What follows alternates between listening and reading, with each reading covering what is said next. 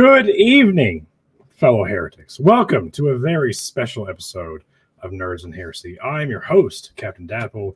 Joining me and a very special guest co-host is Mr. Dave Warnock. How you doing today, Dave? Woo! Good to be here again. It's been a while. Yeah, Man, that a while. How intro music had me banging my head. Right? Oh my Damn. God. a, a portion of my like money uh, the the money that I get from playing that audio clip goes to the original artist and it's like so worth it. Oh, cool. I don't care. Um so yeah, Dave, uh for those who don't know, Dave has a sort of outreach, I guess. I don't know if Sounds that's the best very- word to use. That sounds very evangelical. Uh, yeah, that's why I hate to use it. but uh, it's called Dying Out Loud, and there's a link to it in the description. Uh, Dave is doing phenomenal work for the not just the atheist community, but the secular humanist community. Um, I highly check recommend checking out everything that he's doing. Um, by the way, Dave, you have a story in your memoir, which I Mhm. have right here by happenstance Yep. uh, where you talk about because you were a pastor, an Mhm. evangelical pastor for like 20 something years ish, right? Well, I was an evangelical Christian for 36 years. Many of those years was on pastoral staff, church leadership, all kinds of different positions in church lead. But I wasn't like one of these long long-term pastors for 30 something years. I don't want people to get that idea. I was No. in and out of the ministry, so to speak. So you weren't like raking in the dough, like. Oh yeah, no, no, No, no, no, no, like that. Well, in any case, um, when you started asking questions for yourself and not accepting the answers to the, you know, the uh, uh, the other spiritual advisors that you looked up to that were giving you, um, Right. You started looking the answers up to yourself. You went to a library mm-hmm. and you checked out some books Mm-hmm. And in in you tell the story in your book the librarian was not too happy with um some books that you checked out by a certain author do, do you remember who Oh, yeah. Yeah, I, I took creative license with some parts of my book in terms of conversations I had and dialogue and things. So if you've read my book, Childish Things, available on Amazon everywhere, um, you you you'll see some Clark, convers link in bio. you'll, see some conversations that you know obviously I couldn't remember verbatim 30 years ago, just like the writers of the New Testament couldn't do that, but that's another story altogether. Yo. Um, we might get into that with our guest, but um, yeah, this happened at a uh, at a public library in the suburbs of Nashville, Tennessee, a very conservative area of the country. And um, oh, you shouldn't. Are you you really want to check out that book? He's an atheist, is what this librarian told me, and I said, yes, I do. In fact, I'll be back for more of them. I was pissed. nice well that very author just happens to be waiting for us backstage Um, what? Seriously? right i He's know here? crazy. um, real quick before we bring him on, um, I know there's a lot of people who are watching who are going to going to want to ask him questions. Feel free. Uh, super chats are going to get priority, uh, but even then, I might not be able to get to them. Uh, I only have him for an hour, um, and this is really something that I just I wanted to do for Dave because for those who don't know, Dave has ALS. He's not going to be with us for a whole lot longer. Um, but he's a huge fan of Dr. Bart Ehrman, so I thought this would be something nice I could do for him. So this interview is going to be mostly focused on him and the questions he has that he wants to ask. So without further ado, hold on, let me get to my intro and we're going to watch it and it's going to be super fun. Here we go.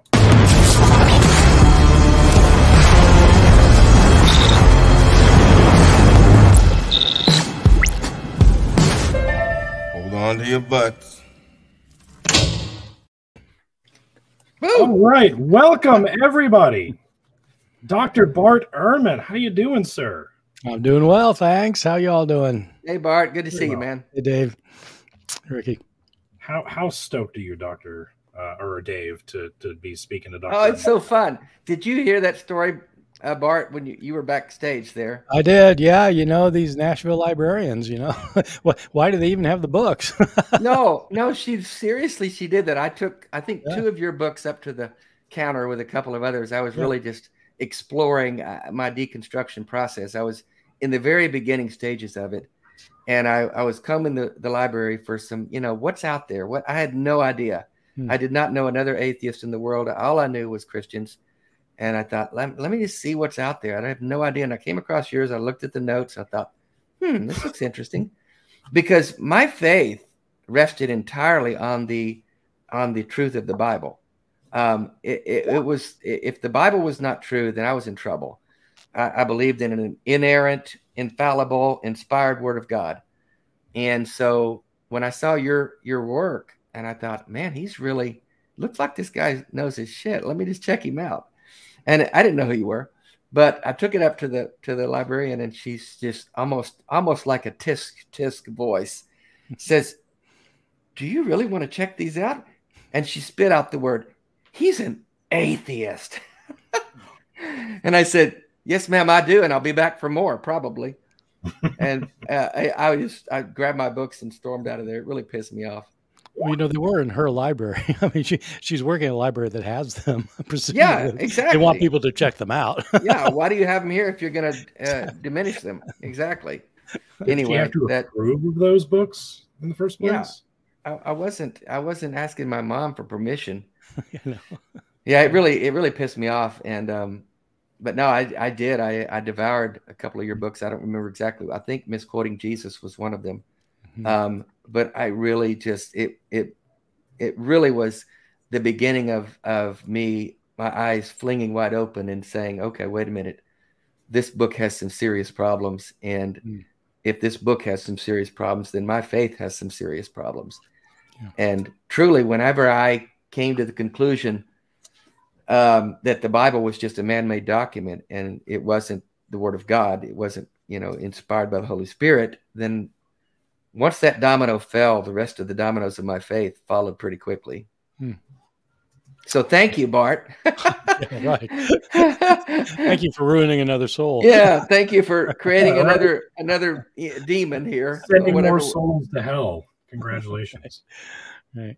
Well, it uh, meant more. You know, your your dissertation or your um, breakdown of of the New Testament meant a whole lot more to me knowing your story hmm. you know, where you came from, how you were evangelical, very pious and very um, uh, devout evangelical. Uh, Moody, uh, didn't you go to Moody and also yeah. um, Wheaton?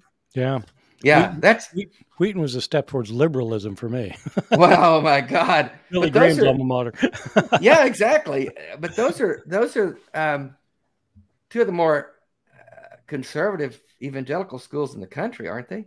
Well, I would say Moody is beyond evangelical. I mean, it's a fundamentalist school, and it's um, right, um, and it's um, yeah, it's pretty extreme. But inerrancy rules the day there. Yeah, and we were all we had the same thing with you. I mean, it's like you know the Bible is no mistakes of any kind whatsoever, and um, you know, for me, that was also at the heart of my faith for years. Well. Yeah. yeah, yeah, and it was only when when you went to that liberal school and got your doctorate that things the, the, the devil got his hooks in you then, right? well, yeah. So I went to Princeton Theological Seminary, and I, boy, I went in with my defenses up. The, those liberals weren't going to teach me anything. yeah, right. It took me a few years before I started realizing, you know, actually they got a pretty good argument here. I better like at least, and you know, what I, I, what I ended up what I ended up thinking was that like if something's true, then it's on God's side. And so I wasn't thinking about leaving the faith. I was just thinking about leaving fundamentalism. You know, I see. I gonna, yeah. And so I, it was like, you know, if if there's a contradiction in the Bible, there's a contradiction in the Bible, and it would be against God to say there's not, because if there is, then there it's true that, there is. And so, yeah. So so I went a slightly different route not I, I, didn't go a different route from yours, but I, I, took a longer route because I went from being a fundamentalist to being an evangelical to being a liberal evangelical to being a liberal. I got more and more liberal until finally, for reasons unrelated to my scholarship, unrelated to my biblical studies, mm-hmm. It all up. Yeah, I, I didn't stair step down like that. I yeah. w- once I realized the Bible wasn't what I thought it was. Yeah. I just thought, well, I don't need any kind of faith then because if it's not hmm. true, then what's the point of any of this? Yeah. Yeah. Because that's Yeah. I got in. I kind of dove in as a Jesus freak in the '70s, hmm and I dove into the deep into the pool. So when I got out, I dove out. You know, uh, I I didn't stair step out, and Yeah. it was pretty radical for me. Yeah, yeah.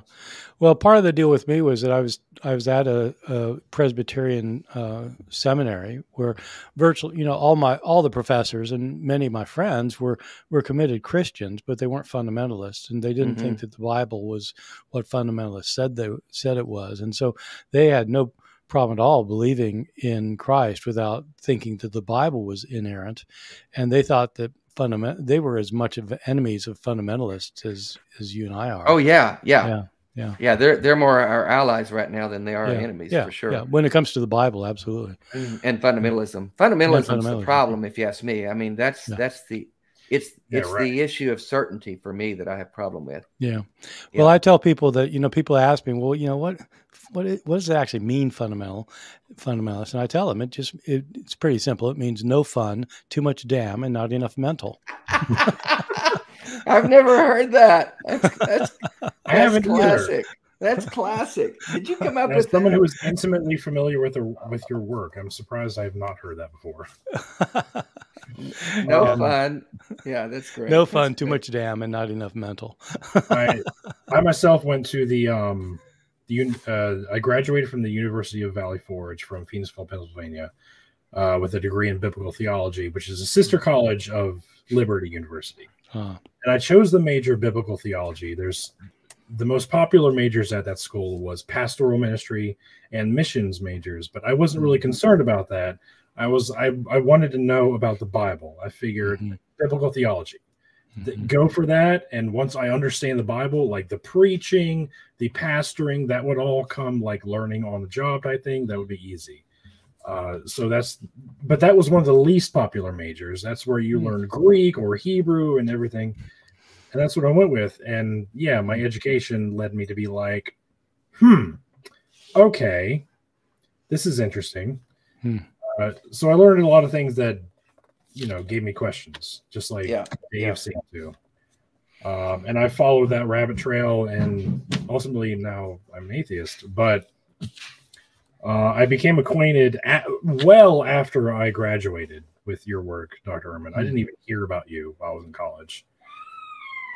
Oh boy, one of my kids. Are, Oh, I have four kids. They're wife. My wife is Oh. on. She's on it. Um, but Dr. Ehrman, I wanted to get into your latest book. Okay. you are you are quite prolific in your writing, Bart. I mean, you put out about a book a year, maybe every two years. Yeah. Yeah. So your Wow. your latest, your latest book is called Armageddon, um, which I have read, and I've read most of your books, all but like four or five of them, maybe. And I, I, I love your work. You're very your writing style is very. Um, you appeal to the common audience. You don't have to be a scholar to understand what you're writing. It's Mhm. easy to understand. It's straightforward, and I, I just love it. Thank you. Uh, yeah, very approachable. Mhm. Thank you. this book easily is like in like the top five of your books like it's it's really good Well, I'll tell you, Um, my opinion is it's, I mean, you know, they're like your children. You're not supposed to love one more than the other. But as an author, your best book is always the most recent one. Yeah, yeah. I So- was, I've, I was going to say that. probably so. so this is my best book by far.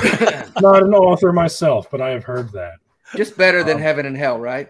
Yeah. oh, yeah. No, look, it's light years. heaven and hell was really good and by the way you, you use the same like uh the cover art uh the artist Uh-huh. is the same artist that used uh Really? for heaven and hell Is- uh, which is I it? have as I didn't know that.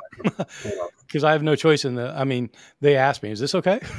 they give me some choices, and I choose. Oh, right. you don't get a publisher, choice? the publisher chooses that, right? Yeah, publisher chooses it. Yeah. Yeah. Yeah. and the title. Oh, really? I didn't know that. Yeah, Okay. yeah, You- yeah. you I lose to- almost every argument I have about. You get to sign off on it, though, right? I mean, you get. Uh, Well, they pretend that I. They pretend that me you have a sign- I voice mean, in but it, right. Basically. Armageddon's a pretty arresting title, I will say. well, Yeah, I wanted. think they, did it's you much well. better than what I was coming up with. Yeah. Oh, really? Yeah. Yeah. What- I think I wanted you- to call it something like uh, expecting Armageddon, and they said, you Uh, know, it's better just to have the just punch it. Just punch it. Yeah. Yeah. I, I think they're probably right. I think it, it Yeah. really grabs you. Armageddon. Yeah. You know, Yeah. it's it's the word. And I I wonder how many non-evangelicals know what that word means. Well, I think it's in common parlance, but maybe they don't. They may not know that it's referring to, you know, an incident in the Book of Revelation. But the idea of Armageddon seems to be one of these things that's kind of crept into the common par- parlance. Yeah, there was a popular movie by that name, right? Yeah, Um, yeah, yeah, yeah, yeah, yeah, yeah, yeah, So I, I see what you're saying. Yeah. yeah, yeah. So it is it is in the nomenclature of, of the culture, but they Yeah. may not know it's a biblical thing. They just No. know it's some kind of end times battle or something. Yeah, they don't think Revelation 19. No, no, not at all. Not at all. So I wanted to start by reading an excerpt from your book. I have highlighted here, actually two of them. Uh, just give me a second because I think this is going to start off the conversation really well. You said, um, "The God of Revelation is not all-knowing, not even close. Neither is the Christ of Revelation. They favor only Jesus' devoted followers, and others are tormented and are horribly destroyed." including many Christians, those whom John considered lukewarm in their faith and misguided in the following uh, practices he disagrees with. All are tossed into the lake of fiery. Con- continue on, next page. If the book of Revelation had been left out of the canon of Scripture, would Christians be so uh, invested in saying that there is nothing wrong with accepting this vengeful jealous God of violent wrath portrayed here? This is a question that I've wrestled with for a, a, a lot because the, the the book of Revelation almost did not make it into the New Testament. And I often wonder what would Christianity look like today if it had not. Mhm. Like this apocalyptic imagery, it would be easy to say that, hey, yeah, the New Testament God is peaceful and loving and merciful, but the book of Revelation is sort of what like puts the New Testament on par with the Old Testament God. So, Dr. Ehrman, what do you think Christianity would look like today if, yeah, if, Yeah. Revelation was not ultimately added into the New Testament? Yeah, it's a really good question because uh, you know I've I, people frequently tell me that the Old Testament God is a God of wrath and the New Testament God is a God of love, hmm and um, uh, you know, and I then I always respond by asking them, "When was the last time you read the Book of Revelation?" if you want a God of wrath, but Yeah. what I what I also say in my book is that both I think both parts of that equation are problematic because the Old Testament God is not just a God of wrath. He he he's also a God of love. I mean, the idea, you know, the the two commandments: love the Lord your God with all your heart, soul, and strength. That's from the Old Testament. Love your neighbor as yourself. That's from the Old Testament. And there's a lot of love in the Old Testament. But the problem in the Old Testament generally is that God's people disobey him. And he's not just a loving God, but a just God. And in many ways, he goes uh, to extremes. Yeah. Some of us would think we're a little bit much. Uh, and so I, I give some examples of that in, in my book. It's weird, it's funny because people, of course, they know about things like the destruction of the of Jericho, although they don't pay attention much when they Christians when they see that with the destruction of Jericho, when the walls come a tumbling down, uh, the Israelites are ordered to go in and kill every man, woman, and child child in the city. You know, so, but I actually come up with I, I point out to even more violent places in the Old Testament than that. But the Book of Revelation is worse than any of it. You know, it's not killing the people in a town; it's killing you know the vast majority of people who've ever lived by throwing them alive into a lake of burning sulfur. This is God doing this. hmm And so it's so what would new, what would Christianity be without this? The New Testament uh, doesn't have anything like this kind of violence and vengeance, this sanctioning of um, of uh, of uh, opposition to the enemy to the point of torturing them. People get tortured by God in this book. Uh, you know, you don't get anything like that in in the New Testament. You certainly in the New Testament do get the idea that the end is coming soon and you need to repent because you know you'll be destroyed but when god destroys people and like the teachings of jesus or in paul he just destroys them he doesn't torture them for five months and then you know and then throw them. this is Yeah. this is uh, this is not. So I think I think that the it would be a different religion in many ways, and I think one one of the things I end the book with. I think you're reading something near the end of my book is that. You know this this view of Jesus is not the view of Jesus you get in the New Testament Gospels. And I don't think Jesus would have considered this person to be faithful to his own message. This person, of course, John of Patmos thinks he's he's a he's he's a Christian and he he know he's an avid Christian. But man, I don't think Jesus would have recognized him as one of his followers. Yeah. I, I, I how, how do you think it made it into the canon? I mean, what were they were they looking for a God of wrath in order to instill fear by that time? He got in for kind of a, a reason you wouldn't expect. And it had trouble getting in for a reason you wouldn't expect. and so there, you know, we read this and we say, Oh my God, why is that in the New Testament? And you know, it's because all this wrath and violence and blood and vengeance and stuff. And that wasn't a problem in early Christianity.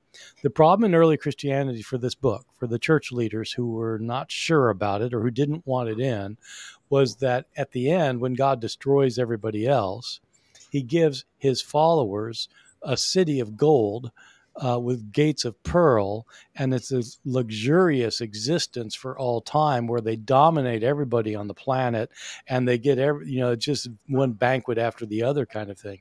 And the church fathers at the time when they were deciding which books would be in were completely opposed to Christians indulging in the pleasures of the flesh um, because they thought that we shouldn't be concerned about bodily pleasure. We should be concerned about spiritual realities. Mhm. And in heaven, it's going to be all about spiritual realities. It's not going to be about big banquets every night. And so they were opposed to it because it didn't have a strict uh, ethical code, in their opinion. Uh, that's not the reason people today oppose it. The reason it ended up getting in, though, is for a completely unrelated reason. In the fourth century, when it finally people basically agreed it had to be in, fourth and fifth centuries, the big issue in Christianity at the time was a theological issue about whether Christ was a was God because God had made him in the past at some time in eternity past. God had generated his son so that Christ was a, a, subor- a subordinate being to God the Father, Mhm. or whether Christ was equal with God the Father. Council of Was he Nicaea, sub- yeah, three twenty five. 325. So it comes about, it comes to a head at the Council of Nicaea in 325. But the, the issue continues on even after that. And so this debate is he equal or not? And the book of Revelation proved really useful for the winning side because the book of Revelation, ha- uh, God identifies himself several times as he says, I am the Alpha and the Omega, the beginning and the end. You know, so the first letter of the alphabet, the last last letter. I'm the I'm beginning and end, Alpha and Omega. And Jesus himself identifies himself as the Alpha and the Omega. So he also is the beginning and the end. And so church fathers could use that to say, so they're equal. Hmm. Uh, and so this book could verify not just that Jesus was God in some sense, but that he was equal with God. And so it was useful theologically. What do you the- think? I mean, John wrote it, right? Is that pretty clear? Well, somebody named John wrote it. What's not Right. clear is which John he was. hmm Uh, so already in early Christianity, in the third century, we have a Christian intellectual named Dionysius, who's a bishop of Alexandria, Egypt, who wrote a treatise that we still have that proves that the author of uh, the book of Revelation, named John, was not the same person who wrote the Gospel of John. Yeah, He I proves it on linguistic grounds. Yeah. I'd heard that. Now, so what do you think? I mean, uh, sit, go back in your mind. If you could put yourself in the place of, of John, whoever, who- whichever John wrote the book of Revelation, what was his goal? What was actually, ha- was he on some mushroom trip? I mean, what's happening? We hear here? that a lot. Yeah.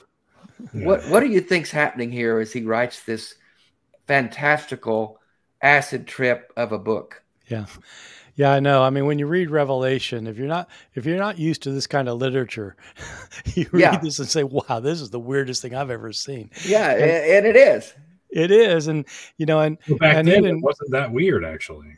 Well, that's what I'm going to say is that Oh, it's okay. not, it's weird for us. And it seems like he's on some kind of acid trip or something. But the reality is that, so, so when historians read this, when mm-hmm. historians read the book of Revelation and they're, they're trained in ancient literature, they recognize it right off the bat as being a kind of writing that was fairly widespread in Jewish and Christian circles at the time. Mm-hmm. Scholars have collected these various things and they call them apocalypses.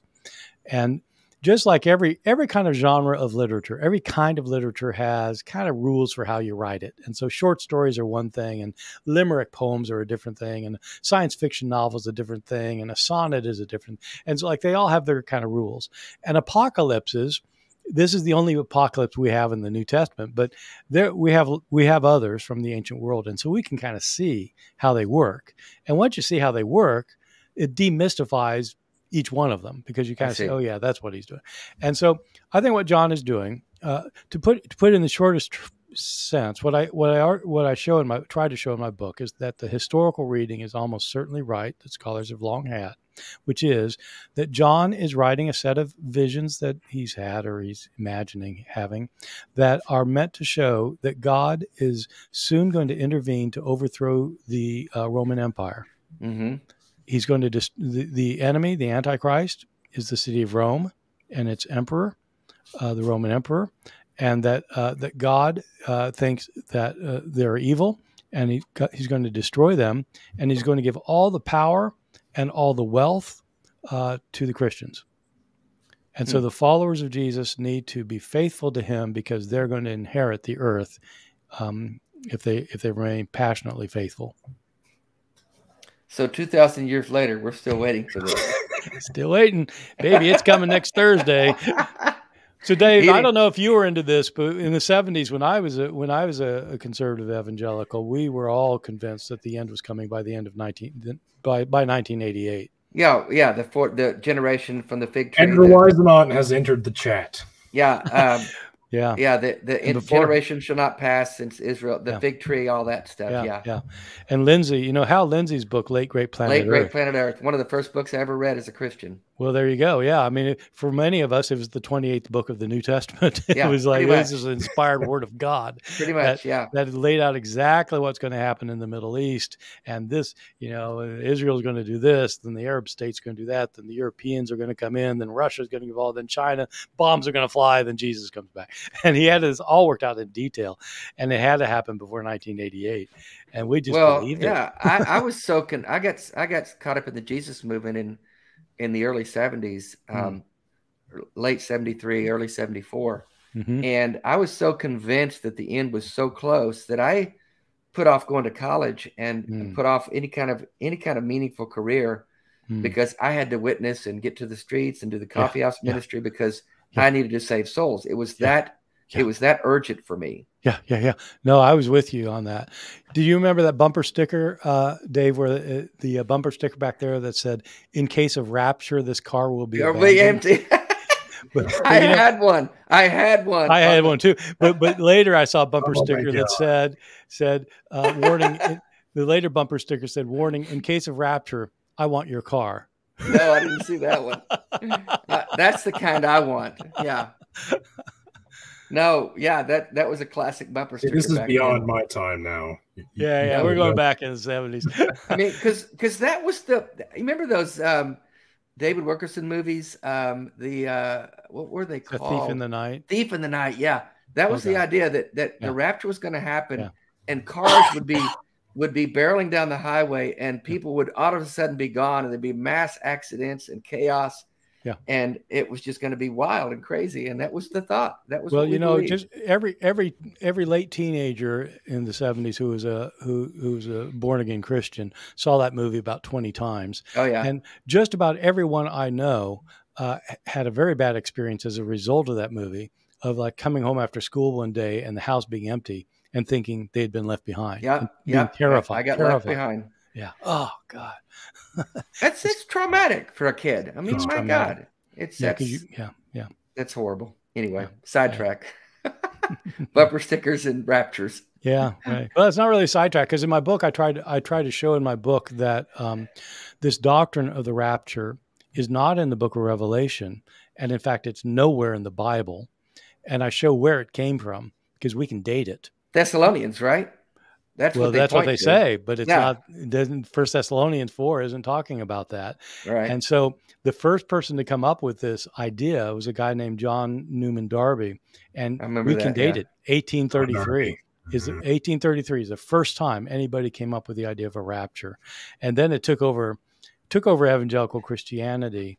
It really didn't take over funda- fundamentalism until the 20th century, and then and now everybody just assumes that's what the book of Revelation teaches because fundamentalists have, fundamentalists have said it teaches that. Mm-hmm. And it absolutely doesn't. There's nothing about the rapture in the book of Revelation. Nothing. No.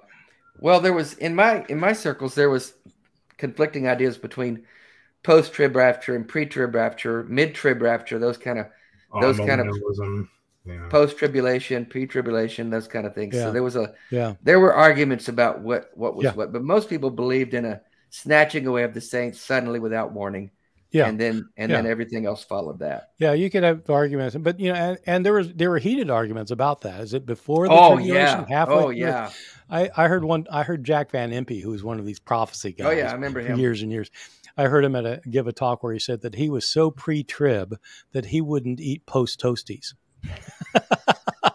He, he said that as a joke. I hope. Yeah, yeah, it was a joke. oh my god! Wow.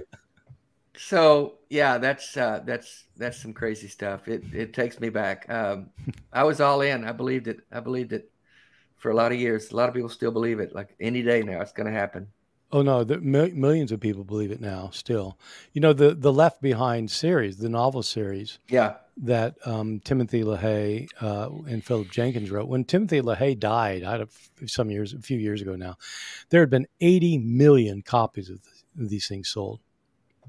He made a lot of money off it. He, he, was just a regular old pastor till he came up with that idea. Well, before that, he was writing books about how to have uh, Christian sex. Yeah, yeah. He and his wife Beverly uh, yeah. because Christians were always kind of a little concerned about like you know what's what's appropriate and you're like what what can't we do and they they let it rip and said yeah actually yeah people like oh my god that book too.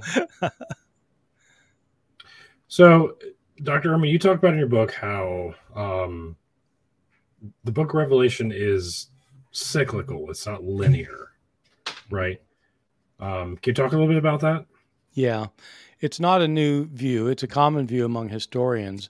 It's the view found in our very earliest um, commentary on Revelation, back uh, written in uh, in the year 280, about, about the cyclical thing. And the way it works is when you read Revelation, um, the, the disasters start in uh, chapter five uh, Jesus, uh, the Lamb of God, is is given a scroll by God, and the scroll is sealed with seven seals, and he breaks a seal on the scroll, which is, I guess, describing the future of Earth, and he breaks the first seal, and a disaster. Oh my God, horrible war breaks out on earth. Breaks the second seal, starvation, and and like mm-hmm. and every seal. And after the seven seals, the seventh seal introduces seven angels that have seven trumpets, and they blow. Each one blows a trumpet. More disasters on earth.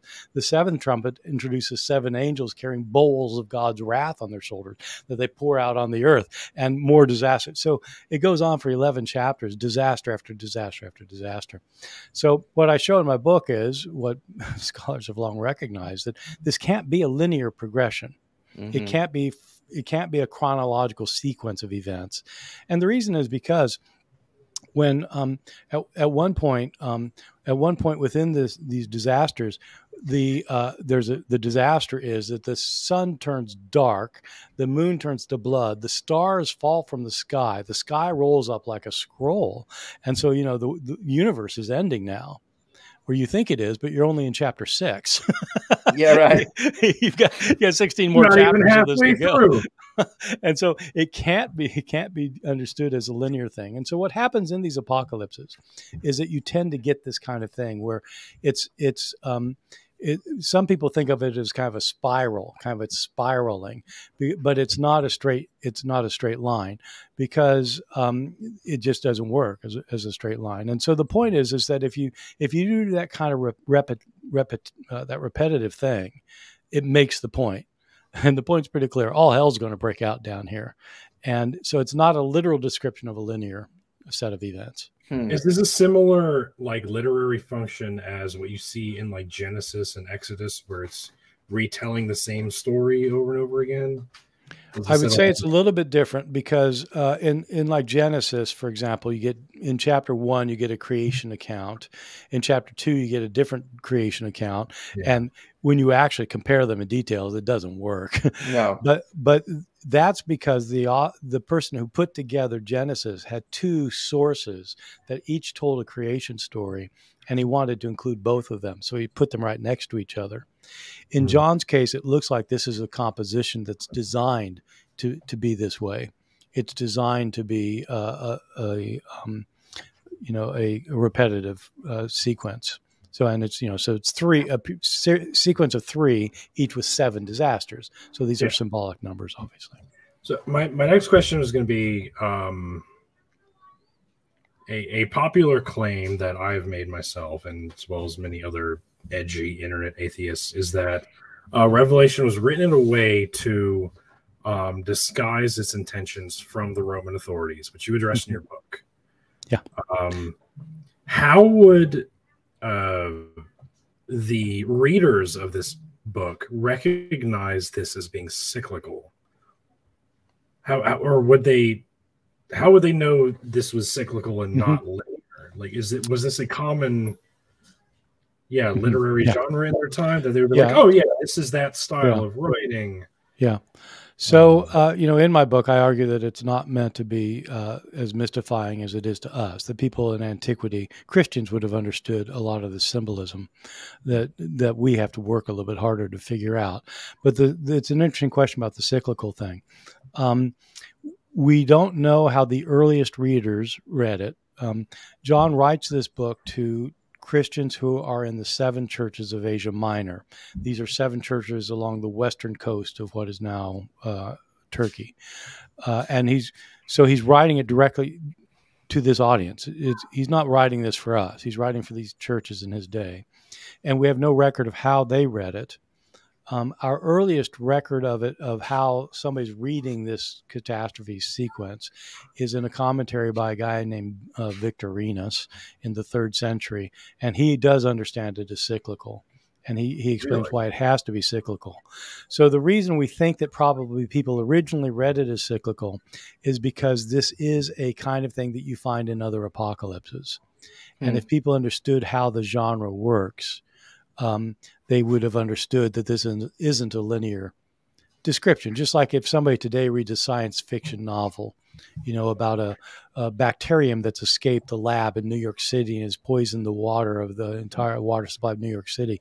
When they read that, they understand it that this is a science fiction novel and they know where it's going to go, you know, because they understand how the genre works. If they read So- it on the front page of the New York Times, they have a completely different because they understand how that genre works. And so if you understand the apocalypse genre, then you you know this pretty well. so so what, what i hear you saying dr Ehrman, is that ancient authors understood this is this genre better than modern day 2000 years later readers understood it Well, modern day readers don't even know there's a genre. I mean, Right. the the apocalypse. I mean, when we read it, when we were when we were, Dave, you might have been like this too. I mean, when I was a fundamentalist, I read it. I said, "Oh my God, this is like this is so weird and bizarre. No human could come up with this. This must be inspired by oh, God." Oh yeah, totally. it was one of the first books of the Bible I read as a Christian. I thought I'm going to go right to the meat of this thing. This is exciting. Really? I can't wait. Yeah, yeah. you went Really? straight to revelation oh you poor soul Mhm. Wow. Okay. I thought Huh. this is this looks fun. Let me get into this.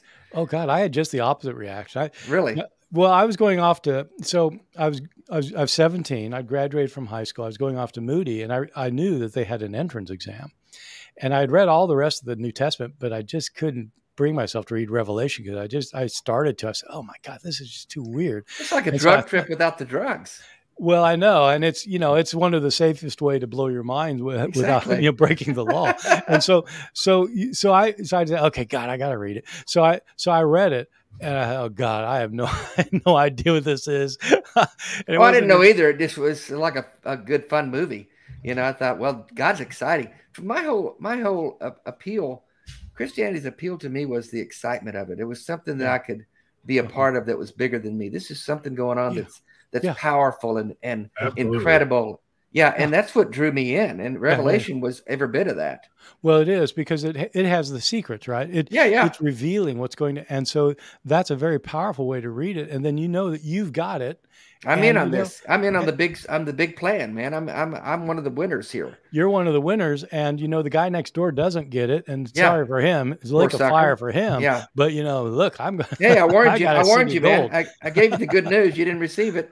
Yep. Shake the dust All right. off my feet and move on. Yep. Um, Yeah. I got a a question about about eternal eternal life. Um, you know, you're talking about Revelation and all the end time stuff there. Your average Christian on the street today, if he's talking about, um, I can't wait to get to heaven and see my mom. Yeah. You know, um, I, I get a lot of this language in the ALS community because we're all dying and everybody's can't wait to Yeah. get get to heaven and see their loved one. Right. But if you look at Revelation, you got a new heaven and a new earth. You got a new Jerusalem. Uh, you got heaven up in the clouds somewhere because that's where Jesus floated up to. What What do you think Christians who really study this stuff and think about it, because your average Christian doesn't, um, what do you think they come up with when they picture where this eternal life is going to be? Is it in heaven? Is it a new heaven, a new earth? Is it a new Jerusalem? Is it a golden street? What, what do you think they they think? How, how do they put this together? Yeah, well, it's a really good question. My sense is most Christians don't put it together at all. Theologians have a way of putting it together, but uh, I completely agree with you. Everybody, every Christian I know who who isn't a scholar just, just thinks that what the New Testament teaches is that you die and your soul goes to heaven, Yeah, uh, and that's not what Revelation teaches at all. It is very explicit. The um, the um, the New Jerusalem descends from heaven onto earth. right. It's an enormous city. It's 1,500 miles cube. and it's so it's 50 miles high 1500 miles wide long and it's all it's all gold Golden, yeah. gates of pearl and that's where the followers of jesus are going to live forever on earth in this new jerusalem so they're ruling the earth uh, and that is the that's the older christian view is that Mhm. there's the view of jesus was that the kingdom of god is coming to earth it's a kingdom it's a real Right. kingdom here yeah, on earth. a new And heaven and a new thought. earth. Right. But so what ends up happening eventually is that um, both Jesus and Paul and the book of Revelation all talk about it coming soon. Mhm. And when it didn't come soon, people started thinking, well, what's going to happen to me then? You know, I mean, if do I'm going to be in my grave for 2,000 years? What? And so they started thinking that, in fact, eternal life isn't this life on this earth after a resurrection of the dead. It's when you die, your soul your soul separates from your body and goes to heaven. That is so my book Heaven and Hell is about that. It's about Yeah. how we got from this idea of a kingdom of God on earth to a heaven and a hell, which is not found in the New Testament. Heaven and hell are not in the New Testament. But so the problem so the problem you're dealing with Dave is that Christians have accepted this idea of heaven and hell, but they also have within their their teachings the idea of a future resurrection of the dead and the coming of the new Jerusalem on earth. Most Christians never never even think that this is a contradiction. No, they don't, and, and it's blatantly a contradiction. It can't be both, but Right. theologians have ways of dealing with it. You know, some theologians will say things like, um, well, some will say that Revelation's being metaphorical. I- I'm not talking about Uh-oh. evangelicals. I'm not talking about you know fundamentalists. I'm talking about you know serious serious theologians who are very they're serious theologians are really quite sophisticated philosophers. Right. So they they know all this. So Right. but they they might think of it as a kind of a metaphorical description of the future. Or some more kind of literally minded would say things like, you know, you die and your soul goes to heaven, but then after the resurrection, you come back and you re-inhabit the earth. Is that um, kind of how you make sense of it? Yeah. That's how you would make sense of it. Yeah. I, I, I kind of figured they had to fit the pieces together some way because they Yeah. really don't fit in don't any fit. logical way. You've got to really force fit them. Well, and even Christians, you know, who are in traditional churches that say the Nicene Creed, you know, Ricky mentioned the, you know, the Council of Nicaea in 325. The the creed that came out of that at the very end of it says that I believe in the resurrection of the dead. Christians say that, and nobody has a clue what they even mean by it.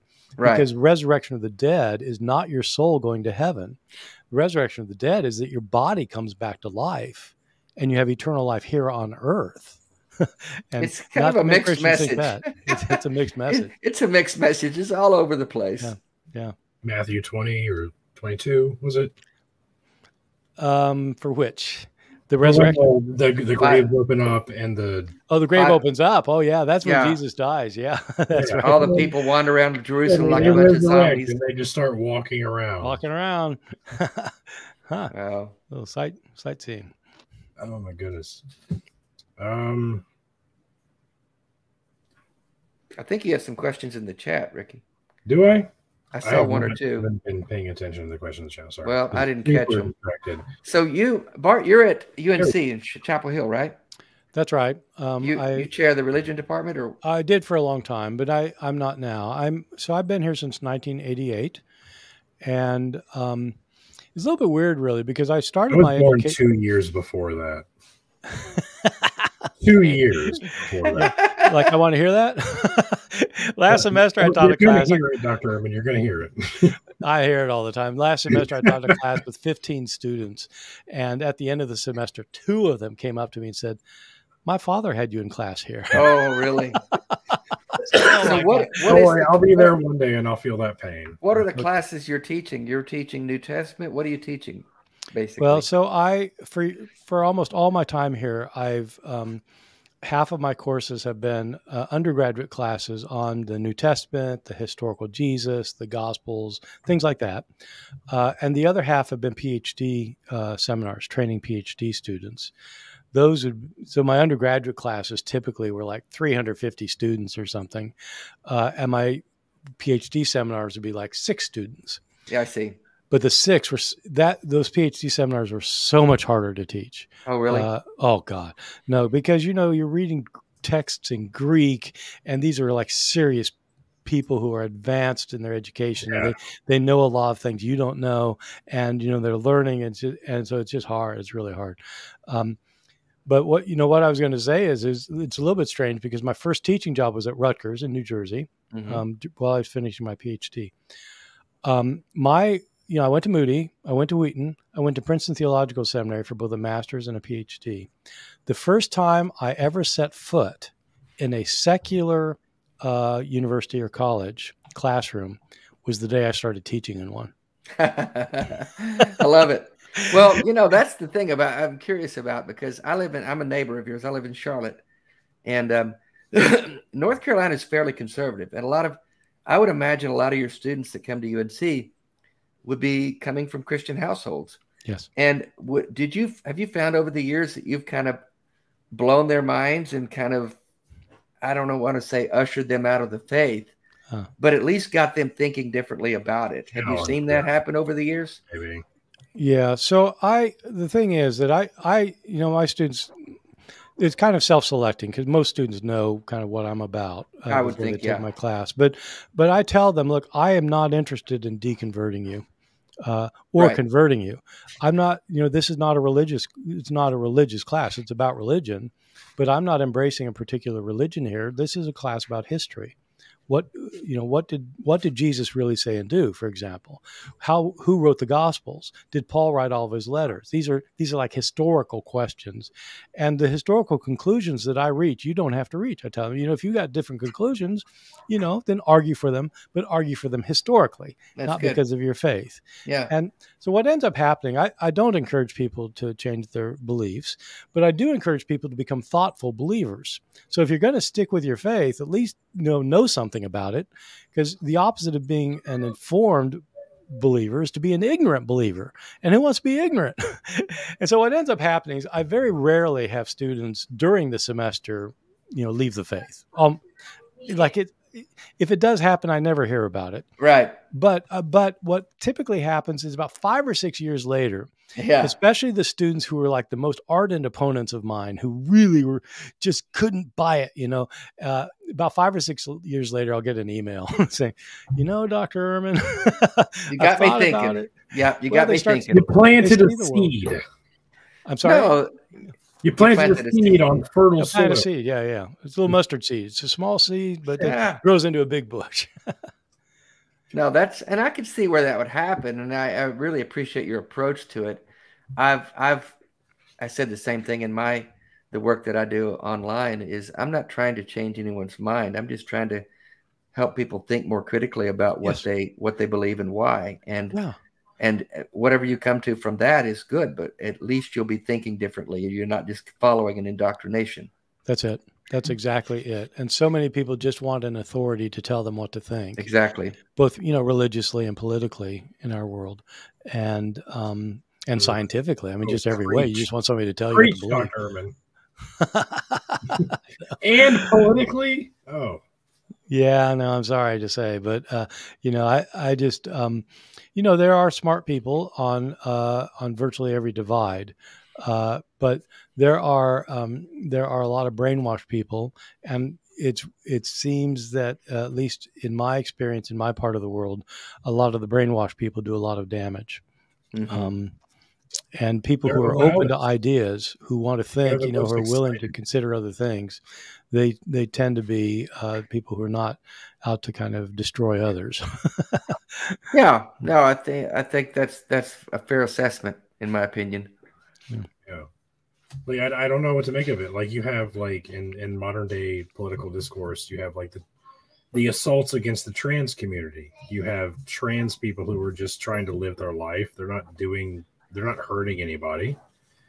And then you have people who are just out there like, "Hey, we should kill all of those people." It's literally what people are saying, and they're just like, "Why? We're not.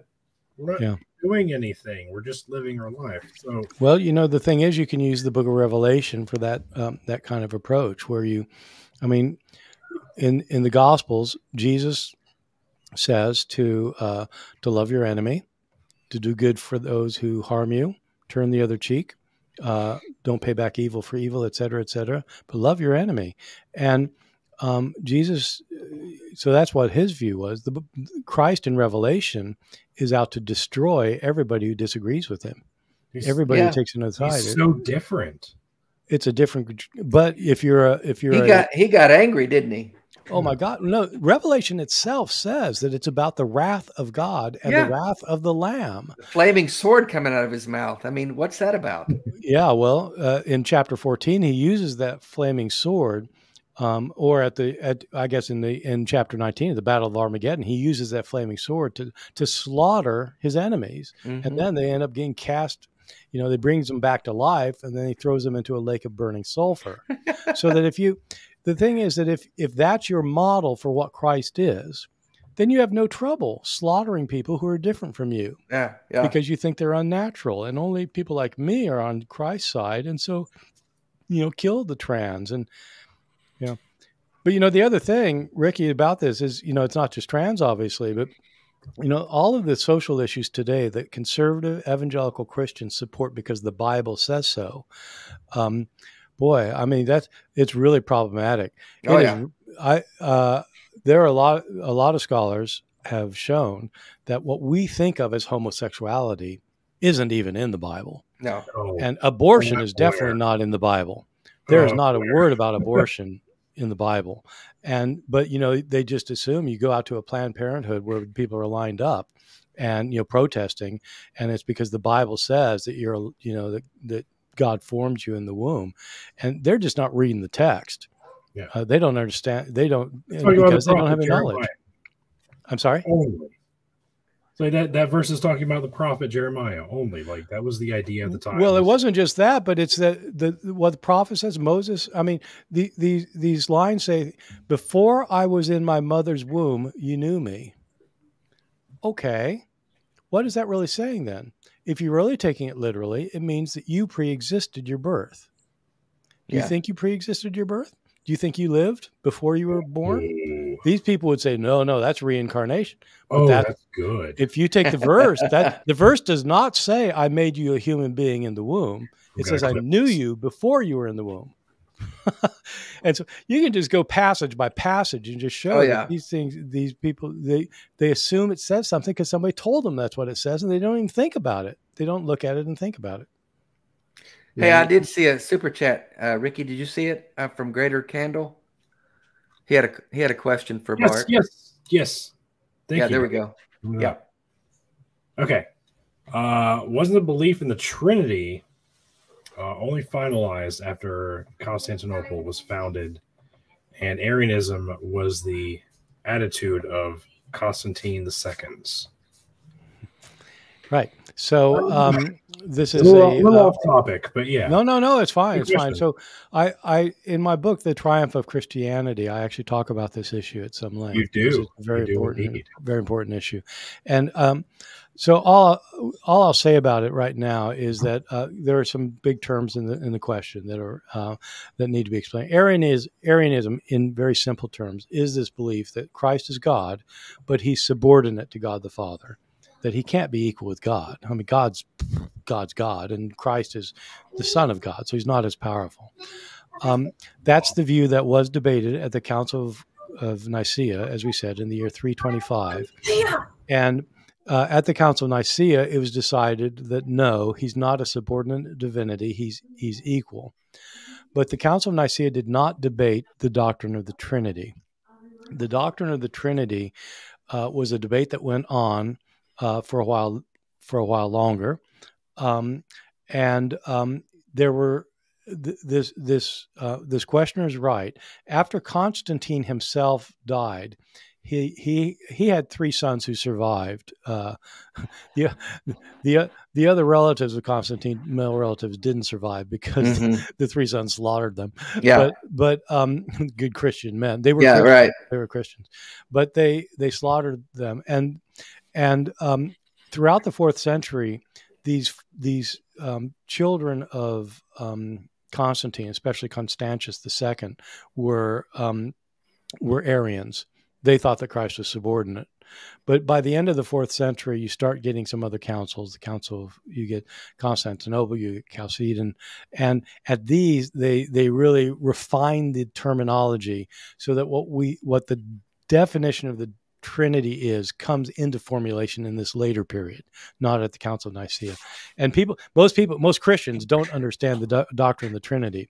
The doctrine is a specific. It's a specific way of understanding the Father, Son, and the Holy Spirit in relationship to each other. Mhm. It isn't.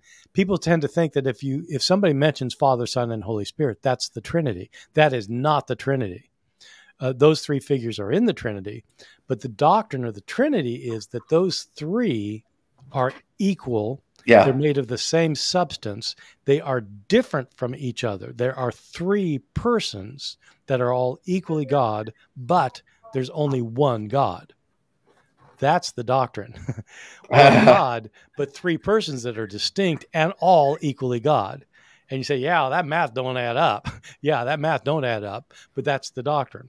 Uh, and he's right. This does not come about uh, during Constantine's reign. Constantine never even thought about that one, but it, it does become the doctrine at the end of the uh, at the end of the fourth century. Yeah, I remember when I was a Christian that we we we spent a lot of time with pretzel logic trying to make all that make sense. You know, you've Yeah. got you've got ice and water and what's the other one? Uh, Vapor. vapor. Yeah, and you've got three parts of an egg. You got the shell. You got Yep. the white. You got the yolk. yep, I had the same ones.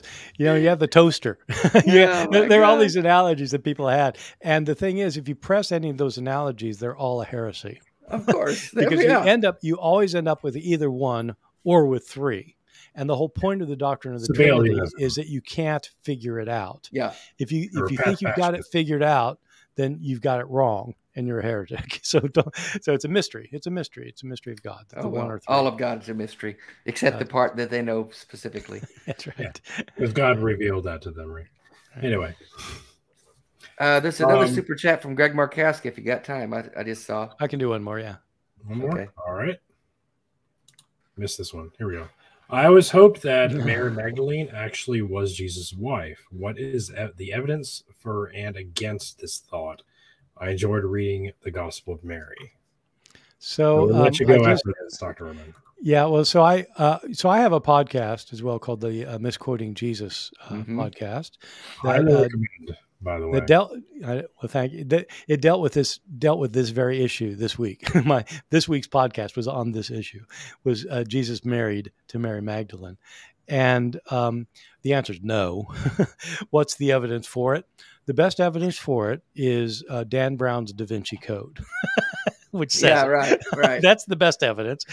Um, so here's the reality that uh, I won't give all, I won't talk about the whole thing, but I'll, I'll say a couple things. One is people do tend to think of Mary Magdalene as one of the really important disciples, or maybe even the most important disciple in Jesus' life. And again, it's because they haven't really read the Gospels. In Matthew, Mark, Luke, and John, if you look at uh, what happens in Jesus' life before the before his crucifixion, just everything before the crucifixion, in all the Gospels, Mary Magdalene is mentioned mentioned in one passage. Hmm. She um, is she and a woman named jo- Joanna and a woman named Susanna and a group of other women are accompanying Jesus and his disciples and providing them with with the finances they need. That's it. That's it. So, so um, the where Mary Magdalene becomes important. So, you know, they're not hanging out. They're not. He, she's not the most important disciple. She's not even mentioned as a disciple. They're not. They don't have an intimate relationship. They don't get married. They don't have babies. There's not. This is just made up. Yeah. Um, and so the um, and in my podcast, by the way, I talk about the Gospel of Mary and the Gospel of Philip that people talk about. That I show that you know uh, these actually don't don't show anything like this, but uh, the reason Mary Magdalene is important uh, actually makes her extremely important because in all four gospels, she's one of the women who discovers the empty tomb. Right. And in John, the Gospel of John, she's the first. She's the first to discover the empty tomb. And she tells the disciples if Mary is the one who finds the tomb, and if she's the one who tells the disciples that Jesus is raised from the dead, you can make a very you can make a plausible argument that Mary Magdalene started Christianity. Mary mm. Magdalene started, she was the first Christian, the mm. first to proclaim the resurrection. Mm-hmm. So she's the founder of Christianity. That's big. But the fact that she's the founder of Christianity, or if it is a fact, if she is the founder of Christianity, it doesn't make her Jesus lover. right. I mean, she that's, a, that's a stretch. But every everybody says, well, yeah, but every Jewish man had to be married, right? Everybody thinks this. And it's just nuts. Think about it for a second. In the ancient world, every society had more women in it than men. I mean, sorry, I'm sorry, had more men in it than women, except yeah. in times of war. In times of war, men would be killed en masse. But if you're not at war, women uh, always there. There are always fewer women uh, than men. Why? Because women die in childbirth. Right. Frequently. So there are more men than women. So not every man can be married. it's just impossible if you're monogamous, as Jews were. And we know of a lot of Jews in Jesus' day who were unmarried, and they're all apocalyptic Jews predicting the end's going to come. The ones we know about, uh, wow. the members of the Dead Sea Scroll community, the Apostle Paul. You just kind of go down yes. the list. And, yeah. Wow. The end's coming, so don't get married. That's what they said. That's what Paul says. That's probably oh, what Jesus man. said. Hmm. Interesting. That's so cool. Okay. Good stuff. Right. Um, yeah, thank you. Uh, we're about out of time. Thank you, Dr. Ehrman, for joining us. This was very fun. Um, real quick, uh, if you're not subscribed to Dr. Ehrman's uh, blog and his website, I highly recommend it. It's like the cost of a cup of coffee, not even like once a month. What's it like? I I've been subscribed to your blog for like the past three years. It's like two hmm. dollars a month. Yeah. It, yeah. It's it's insanely worth it, you guys. It's like better than a Netflix subscription. Do it. Well, uh, in the blog, let me say, you know, that for that membership fee, I, I don't get any of the money. Um, I give all the yeah. money to charities dealing with mainly dealing with hunger and homelessness. Um, last year, we brought in over five hundred thousand dollars and so, um, good, would, good job, man. Well, thanks. I I've been doing it for 11 years now, and I people should just look just look up Bart Ehrman blog, and they'll they'll see. It's it it's nuts. Like the the content you you provide on there is so worth it. Like you you devote so much of your time into that.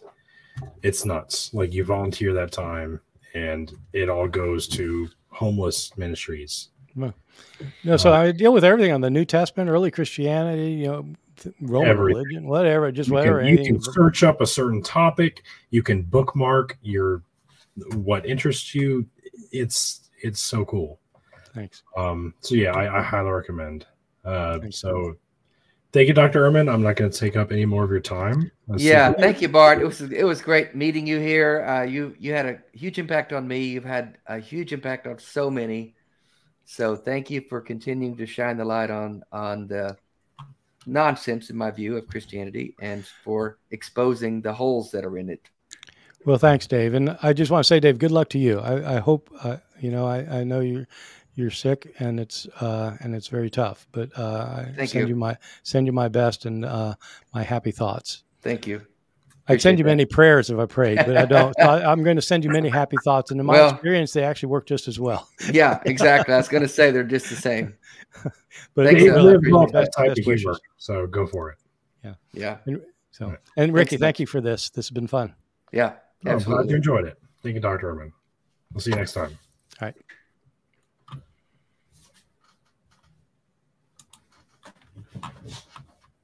All right. Fun stuff. Dave, did you enjoy that? That was great. Yeah, he's a wealth of information, man. Oh, he's so he's so cool to talk to. He's, like, yeah, very knowledgeable and, and he's very, like a down to earth. Yeah, he's very he's like approachable. A, he's like a rock star that you like you idolize and you meet and you're like, oh, he's just he's a normal guy. He just knows a lot about this one thing. Yeah, a lot. yeah, and it's, but other other than that, he's a normal dude. He is indeed. Well, that was fun, man. Thanks for having me on, and uh, I enjoyed getting to to chat with him a little bit. That was cool. Yeah, but I can do that. Um, so yeah, next week uh, we were we are going to be at the American Atheist Convention. Yeah, we'll be uh, there. Anybody that's going to be there, I'd love you to come by. We're gonna have a table there with our nonprofit. So, where's that at again? I can't remember. What? Phil, Phil Phoenixville, Phoenix, Nashville, Arizona, Phoenix, Arizona, Phoenix, Arizona. There we go. I hope you know where to. I hope you know where to go. You you got to be there. Dear. I know.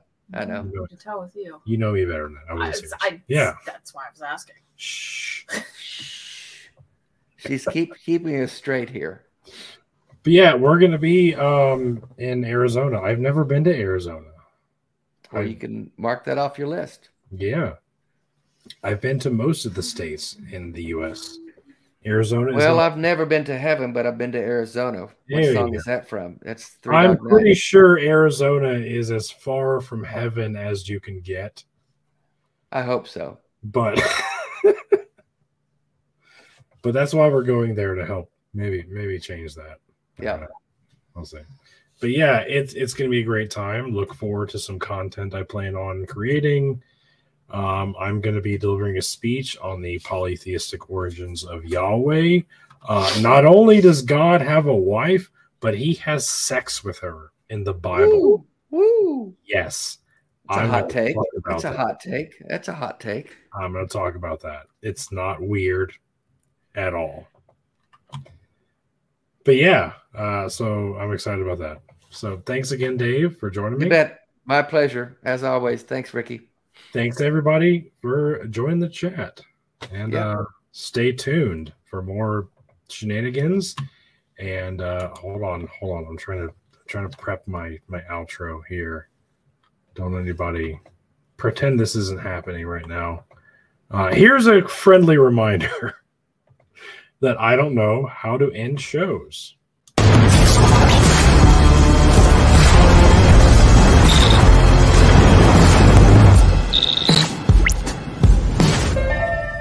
To your butts.